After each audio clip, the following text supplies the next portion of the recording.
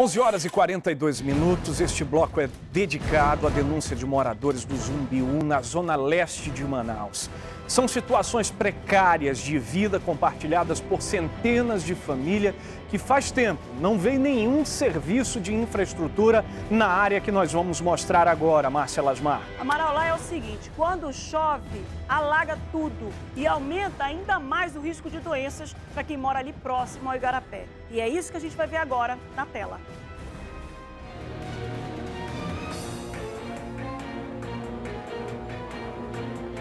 Quem mora por aqui tem que conviver com o mau cheiro. Fazem dois anos que a promessa de construção de um hip-rap aconteceria, mas até agora nada foi feito. Com as chuvas, as dificuldades aumentam. Quando chove, fica um odor horrível e alaga as casas todas aqui. Tudinho, tudinho, tudinho. E aí eles começaram aquela obra ali do hip rap e não terminaram, né? Agora, aí foi como eles disseram, que é porque as casas não eram de alvenaria. Só que lá na obra eles pensam que isso aqui tudo tá feito. Moradores dizem que essa parte do Igarapé ainda não foi construída, porque segundo o Distrito de Obras, aqui só tem casas de madeiras que não correm o risco de desabamentos. Mas quando chove, a situação piora e afeta a saúde pública. A casa de Beatriz é uma das cerca de 100 famílias que sofrem com alagamentos. Ela lembra da última vez e, por conta disso, o filho de três anos ficou doente. Alagou até no último degrau aqui. E, e justamente meu marido não estava aqui porque ele estava trabalhando, estava só eu e meu filho. Dá muito mosquito da dengue aqui, meu filho já adoeceu por motivo disso. E justamente ele está todo ferrado, está cheio de marquinha nos pés dá virose aqui, fede demais aqui, odor. Além dos alagamentos em dias de chuva, outro problema enfrentado é o acúmulo de lixo. Lissandra diz que o que contribui para isso é a falta de consciência de alguns moradores que jogam o lixo no igarapé. O montoeiro de lixo ficou horrível.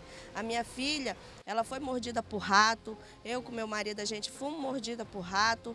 E a gente não, não aguenta viver assim. A gente mora aqui, porque a gente não tem condições de comprar uma casa num, lugar melhor, numa estrutura que não alague.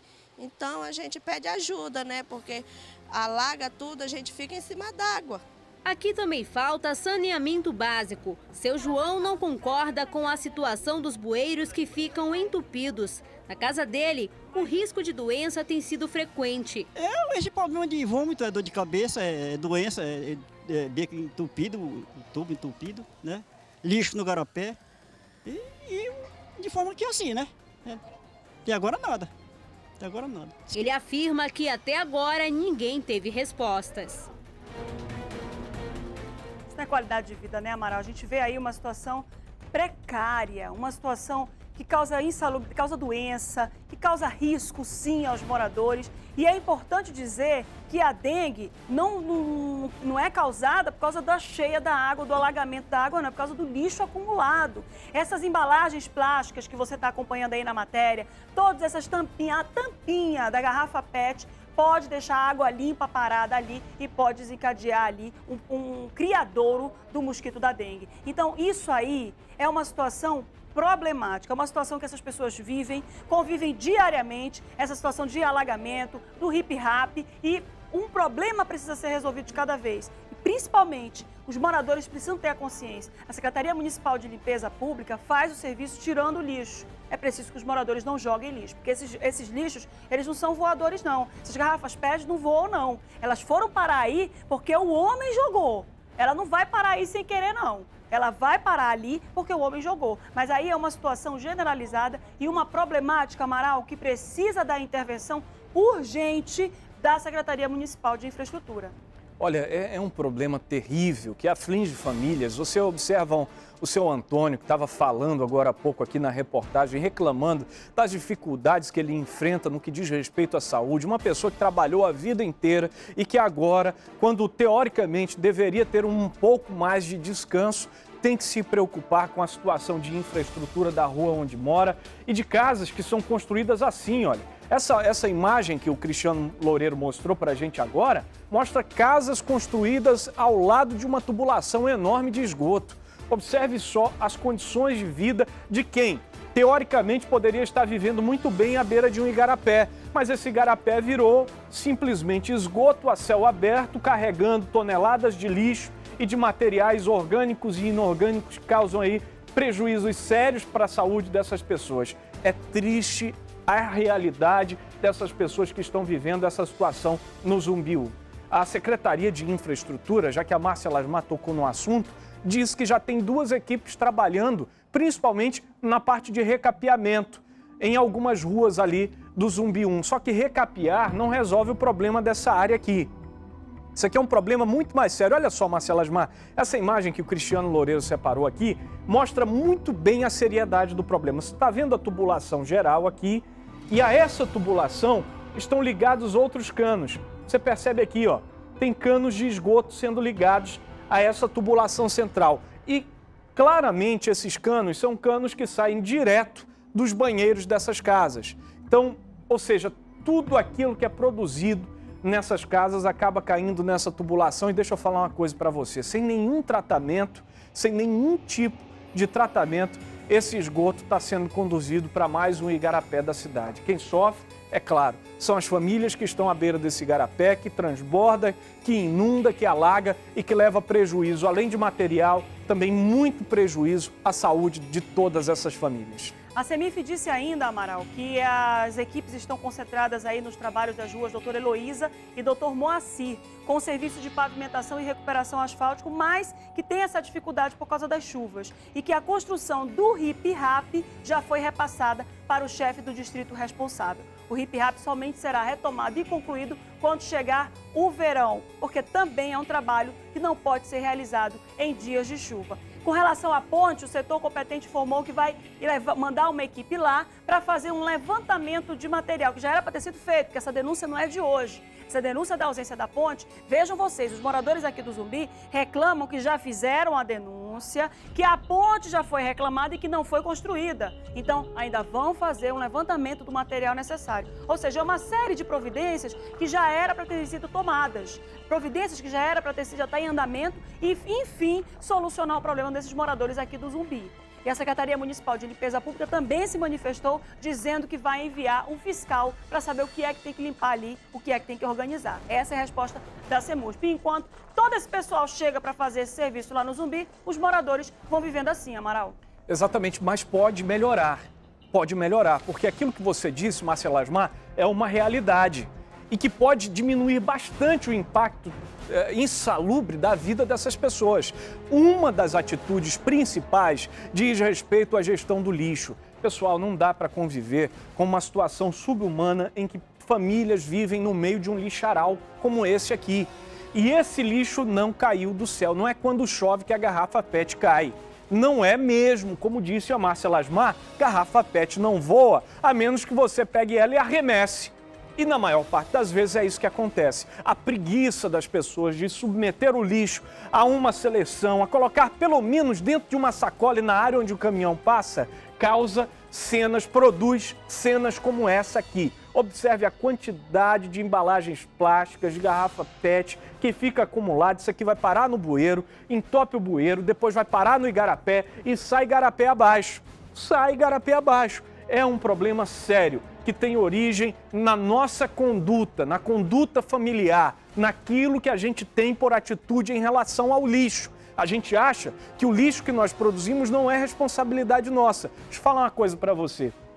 Uma hora dessas, isso aqui vai retornar em forma de prejuízo para todo mundo, para todo mundo, inclusive para quem ainda insiste em jogar lixo no igarapé, em jogar lixo na rua, em achar que a vida é desse jeito. Eu acho que o prejuízo já retornou em forma de mosquito da dengue, como por exemplo a mãe que estava falando ali que a criança estava toda picada de mosquito. Isso é resultado do lixo. Tem telespectador na linha do programa da comunidade para falar sobre esse assunto, só que está reclamando do Nova Vitória. Não é no Zumbi. É um morador que não quer se identificar, não tem problema, que a gente aqui ouve você assim mesmo. Alô? Alô, boa tarde. Boa tarde. Qual é a tua reclamação? Querida, é porque aqui a rua ficou emburacada, aí, gente, aí a, a SBT veio aqui, fez uma, uma reportagem, aí eles vieram, taparam os buracos, A gente mostrou onde a rua estava entupida, onde não, não passa carro, é só, não está nem 10 metros de comprimento onde está entupido. Um montoeiro de lixo no meio da rua. E aí o pessoal não tiraram esse, esse entulho e quando dá 5 horas da tarde, o pessoal aqui é a maior bagunça, o pessoal fumando droga aqui, porque não tem viatura, não passa polícia aqui. A polícia passa na principal, mas aqui embaixo ela não passa. Então, além do, do, do entulho, do lixo, você está reclamando também que tem muito usuário de droga e, e, as viaturas do programa Ronda no Bairro não estão passando. Não passa aqui, aqui na rua. Mas deixa, deixa me surgir uma dúvida agora uh, com o telespectador. Tem condições dessa viatura entrar ou as ruas estão em situação precária? É, essa... Não, se, se limpasse aqui, onde, tirasse esse entulho do meio da rua, da onde, da onde a, a viatura para poder passar, dá de passar ajeitar a rua dá de passada. Não é, de, não é 20 metros de, de comprimento o, o, onde está entupido, moço. E quais são as ruas? Fale pra gente. É, aqui é a rua São Lázaro. A rua São aqui, Lázaro. A, a, a, SBT veio aqui, fez uma reportagem onde estava um buraco imenso. Eles vieram, tamparam o buraco, uhum. mas aqui embaixo, onde, onde a rua principal que a gente sai, eles não, não, não desentupiram a rua um monte de, de entulho aqui, fica o matagal aí em cima, no meio da rua. Muito bem. Obrigado pela participação do telespectador. Marcelo Asmar, você percebeu que o problema é o entulho, é o lixo. É o lixo que é produzido pela comunidade, que as pessoas, infelizmente, ainda não têm a responsabilidade de destinar esse resíduo num lugar correto. Se não está passando o caminhão, denuncia, existem, além do programa agora, inúmeros outros canais de comunicação que podem podem agilizar a sua comunicação com a prefeitura. Então, meu amigo, não, não se submeta a essa situação. Não passou o caminhão do lixo, não pegue seu lixo e deixe lá acumulado. Ligue, denuncie, cobre de quem deve realizar esse trabalho, porque dinheiro do seu imposto que você paga aí todos os dias, em qualquer operação financeira que você faça, é também destinado para limpeza pública. E é por isso que a gente tem que cobrar. Agora o telespectador está fazendo uma cobrança. Você lembra dessa rua onde tinha uma cratera, Márcia Lasmar? Lembra, Nós estivemos lá com a nossa equipe mostrando. Ele reclama que tamparam o buraco, só que não continuaram o trabalho. E aí, se o trabalho não continua, não tem como, por exemplo, a viatura entrar para fazer o policiamento ostensivo e comunitário e evitar, por exemplo, que ah, o tráfico de drogas se propague nessa área do Nova Vitória. Pois é, Amaral, esse é um problema aí que mais uma vez a gente mostra aqui e é importante falar com a produção, que ele já deve estar a essa altura conversando lá com a, com a Ingrid, com a Erivan, para poder a gente saber exatamente qual é a real situação. Nós fomos lá, nós reclamamos com os órgãos públicos, a cratera foi fechada e agora estão reclamando de um entulho. É importante dizer só mais uma coisinha aqui, que entulho não é aquele lixo ali de saco que o carro coletor de lixo ele tem a obrigação de juntar. É importante ver que a Prefeitura, a Secretaria de Limpeza Pública, ela tem toda uma programação programação para recolher o entulho, o resto de obra, todo aquele lixo maior, mais pesado, tem programação para ser recolhido. Então não adianta jogar lá e forçar a barra com a secretaria para, ah, tá cheio de entulho, traz para cá, vem logo juntar o nosso, porque não existe isso. Tem que ter uma programação e tem que ter uma, uma ordem de retirada desses entulhos. Porque se colocar entulho, a secretaria não vai limpar e vai causar todo esse transtorno, Amaral. Exatamente. Olha, você tocou num ponto, Marcela Asmar, que, é interessante para que a gente converse aqui com o telespectador. Sabe por quê? Porque quando a gente fala de entulho, e, aí você muito bem falou dos mutirões de limpeza que são realizados em todas as zonas da capital, no meio do entulho, além, é claro, daquele resto da limpeza do, do quintal, que é aquele capim, o resto da capina, que o, que o telespectador, que o cidadão pode colocar dentro de um saco e pode, é, de, uma, de uma maneira simples, ser levada pelo caminhão do lixo, a gente tem o sofá velho, o fogão velho, por exemplo, o fogão velho, Márcia Lasmal, o que é que tem na, no fogão velho? Tem metal, tem ferro, tem vidro, tudo isso pode ser reciclado. E a gente observa, infelizmente, que boa parte desse material vai parar no Igarapé. É só acompanhar o mutirão de limpeza que é realizado, às vezes, duas, três vezes por ano, ali no Parque Municipal do Mindu, dentro do Igarapé do Mindu, para você contar, para você contar a quantidade de casco de geladeira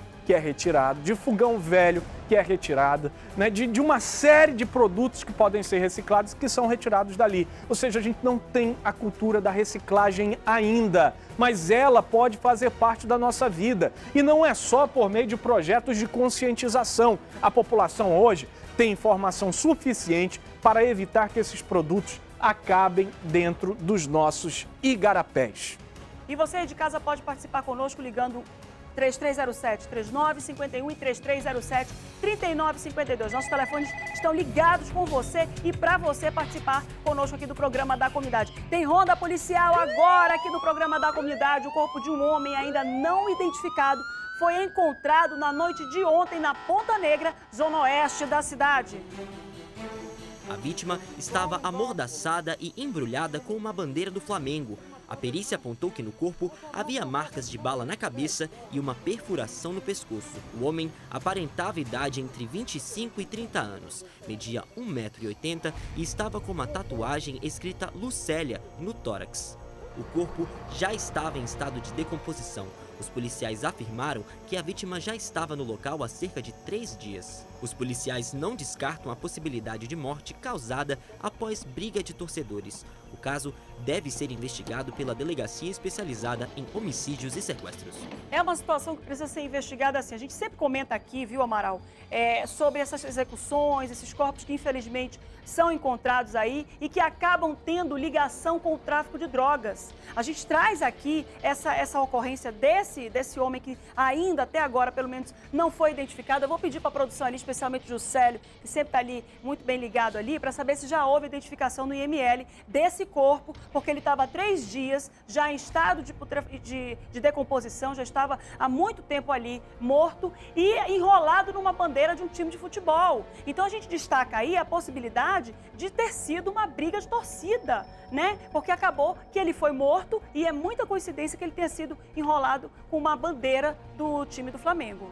Seguindo a ronda policial do programa da comunidade, ontem à tarde, dois homens acabaram presos na zona sul da capital. Eles são suspeitos de assaltos no Educandos e a repórter Priscila Gama tem mais informações na tela do Agora da tarde desta segunda-feira, a Polícia Militar recebeu a informação de que três homens, um deles armado com um revólver calibre 38, estavam em um carro fazendo arrastão nas ruas do centro e do Educandos, como explicou o sargento Teomário Viana. No momento, os indivíduos se, se sentiram é, é, que eles iam ser pegos, eles entraram numa rua próxima ao Banco do Brasil, e é, essa rua não tem saída. Abandonaram o carro em movimento, pularam os três elementos que estavam, estavam com arma de fogo, adentraram a, a o, o Bodosaldo, que se faz do, do, do bairro Educandos. Em seguida, conseguimos capturar dois e um conseguiu fugir. Durante a fuga, o veículo dos criminosos colidiu com um outro carro. A proprietária esteve na delegacia para registrar o boletim de ocorrência. Eu havia deixado o meu carro estacionado é, 10 minutos, né? mais ou menos, foi quando ocorreu da polícia vir perseguindo os ladrões que estavam num carro, num Fiat Uno, e na perseguição os ladrões abandonaram o carro em movimento e meu carro estacionado, né? O que, que aconteceu? Veio a colidir com o meu carro. Ainda segundo a polícia, o carro usado no assalto foi roubado no sábado. Wesley Costa e Igor Ferreira foram encaminhados à cadeia pública. O terceiro suspeito ainda está foragido na zona sul da capital, mas age principalmente em áreas que eles consideram vulneráveis. É por isso que a presença da polícia é tão importante nessas áreas da capital, principalmente em áreas comerciais ali do Educandos, na zona sul da capital, mas também na zona leste, na zona norte de Manaus, fazendo o patrulhamento. Aliás, é por meio desse patrulhamento que essa prisão acabou acontecendo, porque logo depois de agir, a dupla saiu e foi perseguida pela viatura policial e o resultado foi esse. O resultado que todos esperam: a prisão de dois malfeitores, de dois assaltantes perigosos que não hesitam em agir com violência para conseguir aquilo que eles querem. E sabe o que eles querem, Márcia Lasmar? O prejuízo. O prejuízo da população de bem. Quando a população de bem tem prejuízo, eles ganham. Só que dessa vez, como se diz muito bem no jargão policial, a casa caiu. A casa caiu e eles perderam e perderam feio. A gente continua com a ronda policial do programa da comunidade. Vai trazer agora a prisão de Ezro Martins Montalvão, de 31 anos. Ele é acusado de ter matado Leonardo Martins no dia 21 de março no terminal da Constantino Neri. E quem vai trazer as informações para a gente agora aqui na tela é o repórter Diego Cativo. Olá, Diego. Olá, Márcia. A Delegacia Especializada em Homicídios e Sequestros apresentou na manhã de hoje Ezron Martins, de 31 anos. Ele é apontado como autor do homicídio de Leonardo da Costa, de 18 anos. O crime aconteceu no dia 21 de março, no Terminal 1, quando os dois se desentenderam. Segundo o delegado Ivor Martins, Ezron fazia parte de um grupo gótico. A situação ocorreu da seguinte maneira: é, os dois, autor e vítima, participavam de movimentos. É é, contrários, né? um era gótico, o outro é, participava de um movimento anárquico em relação aos góticos e por conta disso desenvolveram uma rixa que culminou com a morte da vítima. Desde a data do fato, né, os investigadores já encamparam diligência no sentido de encontrá-lo, né, na medida em que nós tivemos vários depoimentos que levavam à autoria do fato, inclusive é, de uma pessoa que estava junto com a vítima no momento em que ele foi atacado. A partir daí, é, nós solicitamos à Justiça o pedido de prisão para que pudéssemos dar prosseguimento às investigações e retirar esse cidadão de circulação, considerando a gravidade do crime que ele cometeu. Esron, que é conhecido como Regis em sua tribo, vai responder por homicídio homicídio qualificado. Diego Cativo parou agora. Obrigada, Diego. Vou pedir para o Cristiano separar só aquela imagem que ele está segurando ali uma garrafa com aquele anel, uma espécie de anel, porque foi essa arma do crime, Amaral. Para você que está aí do outro lado perceber como é que é quando uma pessoa foi com isso aí que ele está, que está no dedo dele, na mão dele, foi que ele acabou matando o Leonardo no dia 21 de março. E a gente destaca aqui o que são essas, essas organizações aí que eu quero crer que é uma conduta individualizada, é uma conduta individual dessa pessoa, porque eu duvido muito que as pessoas se juntem em grupos aí com determinados ideais para matar alguém. Eu quero crer que isso foi uma situação isolada do Esron e que ele agora vai responder processo criminal por homicídio, que ele encontrou alguém que divergia das opiniões dele e acabou matando a pessoa. Agora ele está preso, Amaral. O nome disso é intolerância. A intolerância leva a mais um caso de homicídio na capital amazonense, infelizmente motivado por divergências ideológicas e que traz aí a figura, né? O protagonista deste caso, a pessoa que tirou a vida da outra. Está aqui o Esdro, que com essa arma acabou ferindo a outra pessoa no peito de maneira fatal e agora vai responder pelo crime que cometeu. Não é um menino normal, não é um rapaz ah, normal, não. A figura dele já é uma figura de alguém perturbado, de alguém que não está né, em seu estado normal e carrega no corpo, inclusive, marcas dessa perturbação. Dá para ver aqui na cabeça dele uma série de cicatrizes. E não é cicatriz de quem estava trabalhando, não, meu amigo é a cicatriz de quem estava de alguma maneira delinquindo e fazendo mal. Agora vai responder pelo crime de homicídio qualificado. Márcia Lasmar. Amaral, a gente segue com as informações da nossa ronda policial e vai trazer uma notícia extremamente triste. Olha só o que a gente vai trazer para você aí. Uma criança, uma criança de apenas um ano de idade, ela foi, ela foi, ela foi alvejada com um tiro na cabeça, Amaral. Veja você essa situação que aconteceu no Jorge Teixeira. Uma criança de um ano apenas, Amaral. Exatamente, é destaque de polícia que a gente explica já já, depois do intervalo, na tela do programa, agora que volta em instantes. Obrigado pela sua. Ligue, participe e denuncie. Ao vivo dos estúdios da TV em Tempo, a gente vai para o intervalo e volta já já.